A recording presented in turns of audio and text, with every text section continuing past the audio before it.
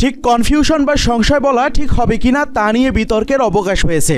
অনেকেই বলছেন, লেখাও হচ্ছে যে আফগানিস্তানের সঙ্গে বাংলাদেশের পনেরো জনের ওয়ানডে স্কোয়াডে নতুন মুখ চারজন আসলে তা নয়। প্রকৃত অর্থে দুই নতুন মুখ। মাহমুদুল হাসান জয় আর ইবাদত হোসেন চৌধুরী। কেউ কেউ ইয়াসির আলী চৌধুরী রাব্বি আর বাঁহাতি স্পিনার নাসুম আহমেদকে প্রথমবার জাতীয় দলের ডাক পাওয়াদের তালিকায় ফেলেছেন।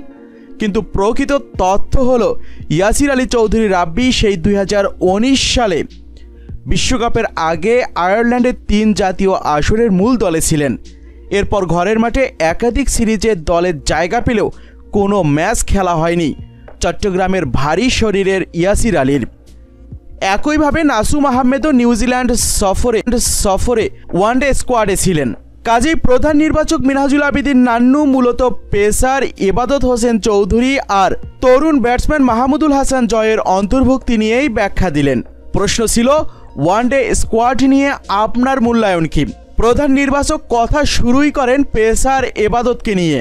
তার ব্যাখ্যা এবাদত আমাদের টেস্ট বলার, তাকে ওয়ানডের জন্য বিবেচনায় এনেছি চিন্তা ভাবনা করছি।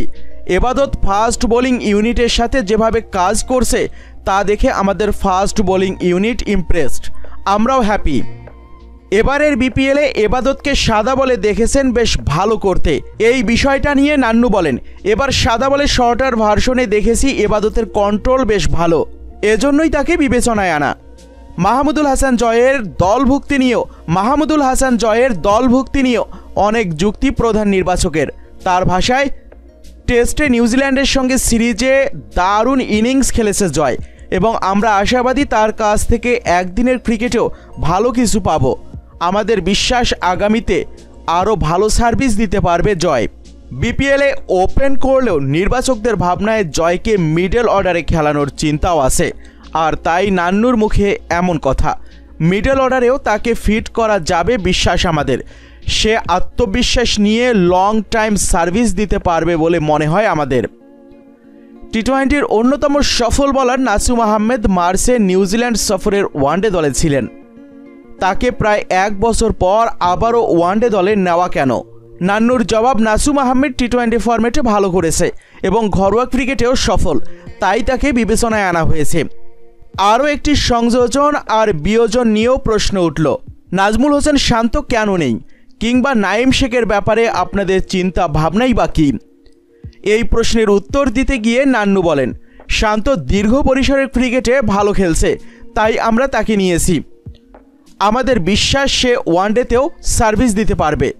নাইম শেখ সম্পর্কে ব্যাখ্যা দিতে গিয়ে প্রধান নির্বাচক বুঝিয়েছেন, ফর্মহীনতার কারণেই বিবেচনায় আনা হয়নি নাইমকে। তবে তাকে একদম বিবেচনার বাইরে রাখা হয়নি। কারও যখন ফর্ম খারাপ থাকে তখন তার মধ্যে হতাশা চলে আসে। সেটা কাটিয়ে উঠে আবার ফর্মে ফিরতে কিছুটা সময় দরকার। আমরা সেই সময়টা দিয়েছি নাইম শেখকে। এদিকে প্রধান কোচ রাসেল ডমিঙ্গো দেশে নেই। দল সাজানোর সময় কি তার সঙ্গে কথা হয়েছে? এমন প্রশ্নের জবাবে নান্নু বলেন, টিম ম্যানেজমেন্টের সবার সঙ্গে আলাপ আলোচনা করেই দল তৈরি করা হয়েছে। কোচ এবং ক্যাপ্টেনের মতামত নেওয়া হয়েছে। মানে সবার সম্মতিক্রমেই দল সাজানো হয়েছে। আপনাদের সবাইকে জানিয়ে রাখতে চাই, তামিম ইকবালের অধীনে সতেরো সদস্যের ওয়ানডে দল ঘোষণা করেছে বাংলাদেশ ক্রিকেট বোর্ড, বিসিবি। আরেক ওপেনার হিসেবে দলে আছেন লিটন দাস। সেই সাথে প্রথমবারের মতো ডাক পেয়েছেন মাহমুদুল হাসান জয়। নিউজিল্যান্ড সিরিজে টেস্টে ধৈর্যশীল ব্যাটিং করে প্রশংসা কুড়ানোর পর বিপিএলে অভিষেক আসরেও দারুণ ব্যাটিং করছেন এই তরুণ ব্যাটার।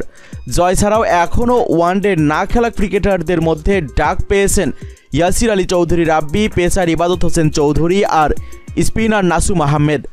বরাবরের মতোই এবারও বাংলাদেশ প্রিমিয়ার লিগ বিপিএলে দারুণ ব্যাটিং করেছেন ইয়াসির আলী চৌধুরী, রাব্বি। বর্তমানে বাংলাদেশ টি টোয়েন্টি দলের নিয়মিত সদস্য নাসুম আহমেদও বিপিএলে ভালো খেলছেন। টেস্টের নিয়মিত সদস্য ছিলেন নিউজিল্যান্ডে বাংলাদেশের প্রথম টেস্ট জয়ের নায়ক এবাদত হোসেন চৌধুরী। এবার চলুন জেনে নেওয়া যাক আফগানিস্তানের বিপক্ষে বাংলাদেশের ওয়ানডে দলের স্কোয়াডে কোন কোন ক্রিকেটার জায়গা পেয়েছেন। তামিম ইকবাল, লিটন কুমার দাস, নাজমুল হোসেন শান্ত, মুশফিকুর রহিম, সাকিব আল হাসান, মাহমুদুল্লাহ রিয়াদ, আফিফ হোসেন ধ্রুব, মেহেদি হাসান মিরাজ, মুস্তাফিজুর রহমান, তাসকিন আহমেদ, শরীফুল ইসলাম, এবাদত হোসেন নাসুম আহমেদ, ইয়াসির আলী চৌধুরী রাব্বি এবং মাহমুদুল হাসান জয়। কিন্তু দর্শক মণ্ডলী, আপনাদের কাছ থেকে জানতে চাইব আফগানিস্তানের বিপক্ষে নান্নুদের দেয়া এই স্কোয়াড নিয়ে আপনাদের মতামত কি? সেই সাথে আফগানিস্তানের বিপক্ষে বাংলাদেশের এই ওয়ানডে স্কোয়াডে কোন কোন ক্রিকেটারকে আপনারা দেখতে চেয়েছিলেন? আপনাদের মতামতটি জানাতে ভিডিওটির নিচে কমেন্ট বক্সে কমেন্ট করুন।